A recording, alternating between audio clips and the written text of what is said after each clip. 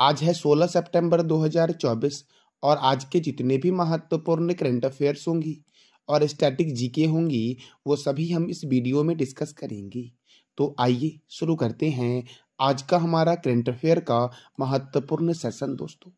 पहला प्रश्न है ब्रिलियंट पियानो फेस्टिवल 2024 का आयोजन कहाँ हुआ है? तो इसका आयोजन हुआ है दोस्तों बेंगलुरु में। कहाँ हुआ है इसका आयोजन बेंगलुरु में? और बेंगलुरु में ही दोस्तों, इसरो का मुख्यालय है। इसरो का मुख्यालय कहाँ है दोस्तों? तो बेंगलुरु में है इसरो का मुख्यालय। देखो दोस्तों, अहमदाबाद। अहमदाबाद कौन से नदी के किनारे है? तो साबरमती नदी के किनारे है। और अहमदाबाद को बोलते हैं भारत का मानचेस्टर और भारत का बोस्टन। देखो दोस्तों, चेन्नई। चेन्नई में है चमरा अनुसंधान संस्थान जो है, ये चेन्नई में है। लखनऊ में दोस्तों, लखनऊ जो है ये गोमती नदी के किनारे है और लखनऊ में चौधरी चरण सिंह अंतर्राष्ट्रीय हवाई अड्डा है। अब देखो दोस्तों, बेंगलुरु में हुआ है ब्रिलियंट पियानो फेस्टिवल तो बेंगलुरु जो है ये कर्नाटक की कैपिटल है और कर्नाटक के गवर्नर हैं थावर चंद्र गहलोत, कर्नाटक के चीफ मिनिस्टर हैं सिद्धारमैया, कर्नाटक में राज्यसभा सीट बारह है और लोकसभा सीट अट्ठाईस है। बांदीपुर राष्ट्रीय उद्यान कर्नाटक में है नागरहोल राष्ट्रीय उद्यान कर्नाटक में है और मेके दातु बाँध कावेरी नदी पर कर्नाटक में है दोस्तों। दोस्तों, इस वीडियो का पीडीएफ आपको टेलीग्राम पे मिल जाएगा, जिसका लिंक वीडियो के डिस्क्रिप्शन बॉक्स में है। मेरे प्यारे दोस्तों, मैं वीडियो के एंड में आपसे तीन प्रश्न करूँगा, जिसका जवाब देना है आपको कमेंट बॉक्स में। अगला प्रश्न है, अखिल भारतीय राजभाषा सम्मेलन, अखिल भारतीय राजभाषा सम्मेलन 2024 का आयोजन कहाँ किया गया है?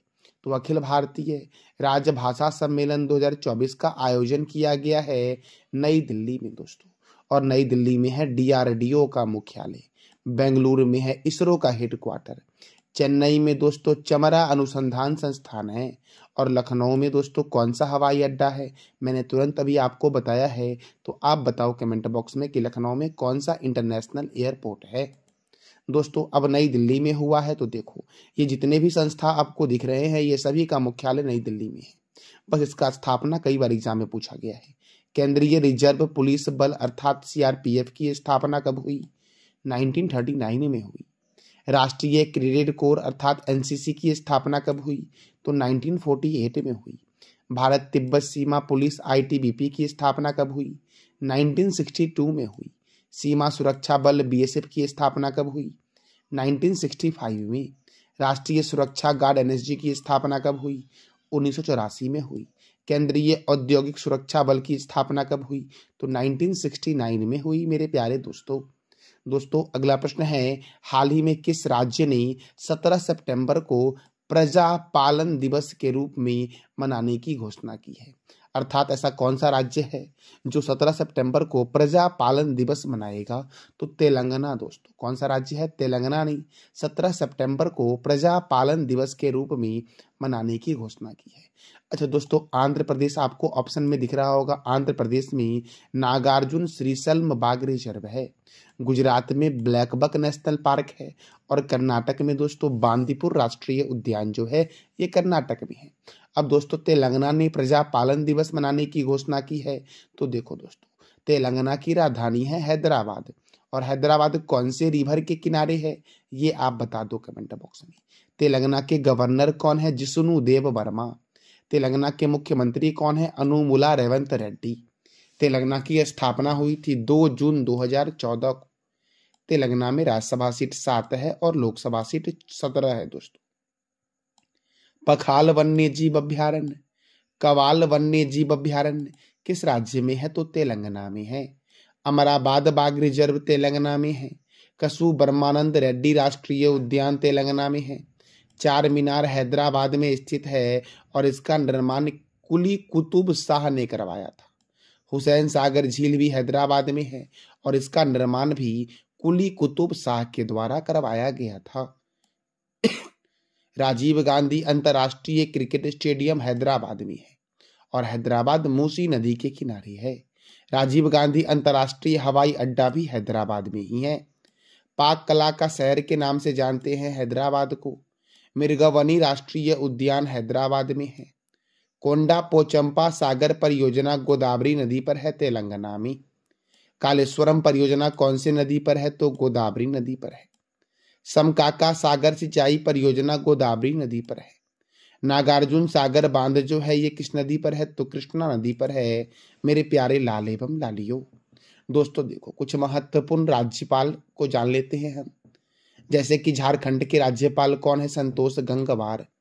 पंजाब के राज्यपाल कौन है? गुलाब चंद्र कठारिया। छत्तीसगढ़ के राज्यपाल कौन है? तो रामेन डेका है दोस्तों। महाराष्ट्र के राज्यपाल हैं सीपी राधाकृष्णन। मेघालय के राज्यपाल हैं सी एच विजय शंकर पौंडीचेरी के राज्यपाल हैं के कैलाशनाथ। राजस्थान के राज्यपाल है हरि भाऊ किशन राव बांगरी। तेलंगाना के राज्यपाल हैं जिष्णुदेव वर्मा। सिक्किम के राज्यपाल हैं ओम प्रकाश माथुर, असम के राज्यपाल हैं लक्ष्मण प्रसाद आचार्य और मणिपुर के राज्यपाल कौन हैं? तो लक्ष्मण प्रसाद आचार्य ही हैं मेरे प्यारे लाल एवं लालियो। दोस्तों, अगला प्रश्न है, राष्ट्रमंडल शतरंज चैंपियनशिप 2024 का आयोजन कहाँ किया गया है? राष्ट्रमंडल शतरंज चैंपियनशिप 2024 का आयोजन कहाँ किया गया है? तो कलुतारा में किया गया है। और कलुतारा जो है, ये श्रीलंका का शहर है। श्रीलंका की राजधानी क्या है? श्री जयवर्धनमपुरम कोट्टे। श्रीलंका की करेंसी क्या है? श्रीलंकन रूपी। श्रीलंका के प्रेसिडेंट अर्थात राष्ट्रपति कौन है? तो रानिल विक्रम सिंधे हैं। और श्रीलंका के प्राइम मिनिस्टर कौन है? मतलब प्रधानमंत्री कौन है? तो दिनेश गुणवर्धना है दोस्तों। दोस्तों, हमारा अगला प्रश्न है, पैतालीसवा फीडी शतरंज ओलंपियाड कहाँ शुरू हुआ है?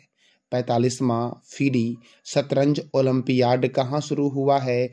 तो हंगरी में शुरू हुआ है। हंगरी की राजधानी क्या है? तो बूढ़ा पेस्ट है।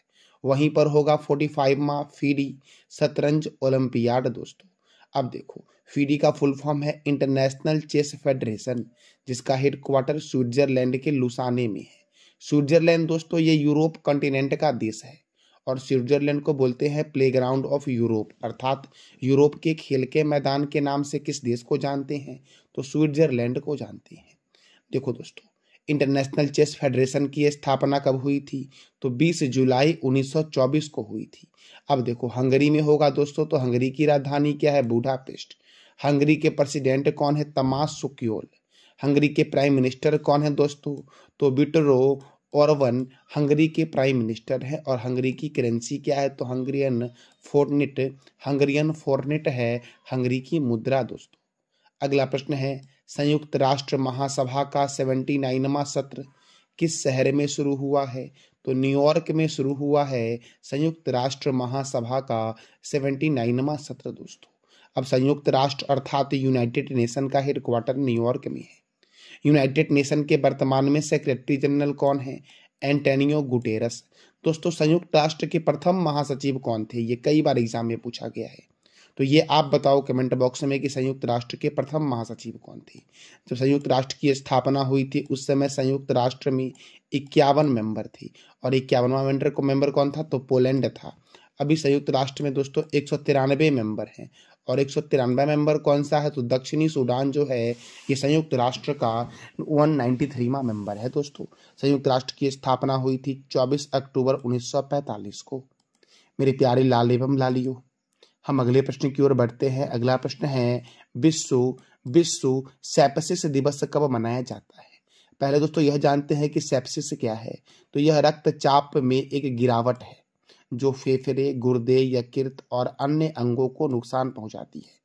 तो इसी से जागरूक करने के लिए विश्व सेप्सिस दिवस मनाया जाता है तेरह सितंबर को। कब मनाया जाता है विश्व सेप्सिस दिवस? तो क्या बोलोगे आप? तेरह सितंबर को मनाया जाता है। राष्ट्रीय पोषण सप्ताह एक से सात सितंबर। विश्व नारियल दिवस दो सितंबर को मनाया जाता है। राष्ट्रीय शिक्षक दिवस पाँच सितंबर को मनाया जाता है। अंतर्राष्ट्रीय चैरिटी दिवस पाँच सितंबर को मनाया जाता है। अंतर्राष्ट्रीय गिद्ध जागरूकता दिवस सात सितंबर। अंतर्राष्ट्रीय पुलिस सहयोग दिवस सात सितंबर। विश्व साक्षरता दिवस कब मनाया जाता है? तो आठ सितंबर को मनाया जाता है दोस्तों। हिमालयन दिवस नौ सितंबर को मनाया जाता है। विश्व आत्महत्या रोकथाम दिवस दस सितंबर को मनाया जाता है। राष्ट्रीय वन शहीद दिवस ग्यारह सितंबर को मनाया जाता है। हिंदी दिवस 14 सितंबर को मनाया जाता है। विश्व हिंदी दिवस 10 जनवरी को मनाया जाता है। मेरे प्यारे लाल एवं लालियों, हिंदी दिवस 14 सितंबर को मनाया जाता है, जबकि विश्व हिंदी दिवस 10 जनवरी को मनाया जाता है। अगला प्रश्न है, एशियाई क्रिकेट परिषद महिला अंडर 19 एशिया कप का शुभारंभ कहाँ हुआ है? अंडर 19 एशिया कप का शुभारंभ जो हुआ है, ये कहाँ हुआ है दोस्तों? तो मलेशिया में हुआ है। और मलेशिया की कैपिटल क्या है? तो कोलालमपुर है, मलेशिया की राजधानी। मलेशिया की करेंसी क्या है? तो मलेशियन रिंगिट है, मलेशिया की करेंसी और मलेशिया के प्राइम मिनिस्टर कौन है? तो अनवर इब्राहिम है। मलेशिया के प्रधानमंत्री मेरे प्यारे लाल एवं लालियो। दोस्तों अब देखो, क्रिकेट के संदर्भ में महत्वपूर्ण स्टेडियम को देखते हैं।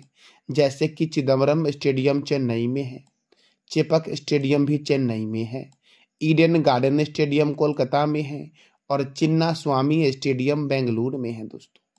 अरुण जेटली स्टेडियम दिल्ली में है, राजीव गांधी स्टेडियम हैदराबाद में है, बाराबाती स्टेडियम कटक में है, वानखेड़े स्टेडियम मुंबई में है, किन्नन स्टेडियम जमशेदपुर में है मेलबर्न स्टेडियम ऑस्ट्रेलिया में है और पर्थ और बिस्वर्न स्टेडियम भी ऑस्ट्रेलिया में ही है दोस्तों।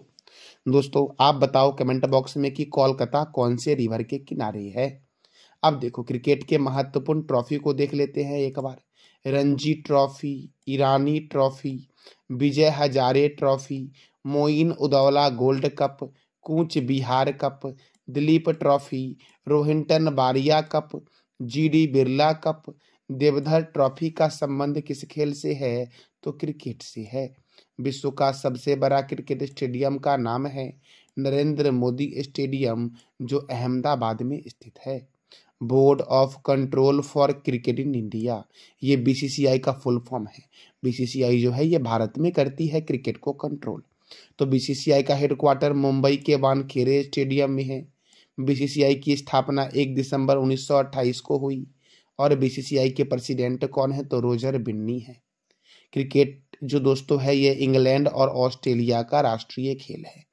दोस्तों, जिस तरह से बीसीसीआई जो है, ये भारत में करती है क्रिकेट कंट्रोल उसी तरह से वर्ल्ड में करती है क्रिकेट को control ICC international cricket council और आईसीसी का मुख्यालय दुबई में है। आईसीसी की स्थापना कब हुई और इसके चेयरमैन कौन हैं, ये आप बता दो कमेंट बॉक्स में।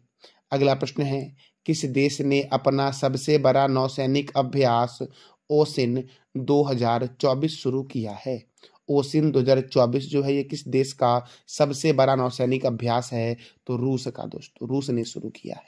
अब रूस के बारे में आपको पता ही है कि रूस जो है, ये दुनिया का सबसे बड़ा देश है क्षेत्रफल के अकॉर्डिंग। और जनसंख्या में जो दोस्तों सबसे बड़ा देश दुनिया का है, ये भारत है। मेरे प्यारे दोस्तों, एशिया का सबसे बड़ा देश जो दोस्तों है, ये चीन है। एशिया का सबसे छोटा देश जो है, ये मालद्वीप है। दुनिया का सबसे छोटा देश जो है, आपका वो वेटिकन सिटी है, जनसंख्या में भी और क्षेत्रफल में भी दोस्तों। अब देखो, रूस की राजधानी है मॉस्को। रूस की करेंसी है रशियन रूबल रूस के राष्ट्रपति का नाम है व्लादिमीर पुतिन और रूस के प्रधानमंत्री कौन है? तो मिखाइल मिशोस्तीन है, रूस के प्रधानमंत्री दोस्तों। कृत्रिम उपग्रह को अंतरिक्ष में प्रक्षेपित करने वाला दुनिया का पहला देश रूस है। अंतरिक्ष में जाने वाला प्रथम व्यक्ति का नाम है मेजर यूरी गॉगरीन। अंतरिक्ष में तैरने वाला प्रथम व्यक्ति है एलेक्सी लेनेबो और अंतरिक्ष में जाने वाली प्रथम महिला है वेलेंटीना त्रिस्कोवा और ये तीनों रूस के ही हैं। रूस के राष्ट्रपति कहाँ रहते हैं? क्रेमलिन में। रूस का राष्ट्रीय चिन्ह है डबल हेडेड ईगल। क्षेत्रफल की दृष्टि से दुनिया का सबसे बड़ा देश जो है ये रूस है, दोस्तों। देखो सबसे लंबा नदी मुहाना दुनिया का ओब नदी का मुहाना रूस में ही है। सबसे बड़ी झील दुनिया की कैस्पियन सागर झील है, जो रूस, कजाकिस्तान, तुर्कमेनिस्तान, अजरबैजान और ईरान में फैला हुआ है। सबसे गहरी झील दुनिया की बैकाल झील है। रूस के संसद का नाम ड्यूमा है। और ओनेगा झील कहाँ है दोस्तों?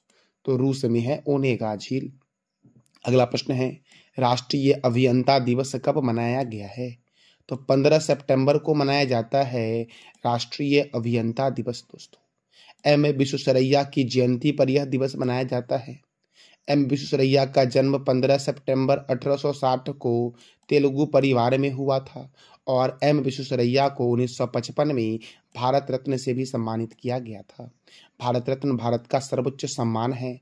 भारत रत्न की शुरुआत जो हुई थी वो कब हुई थी? तो 1954 में भारत रत्न की शुरुआत हुई थी, दोस्तों।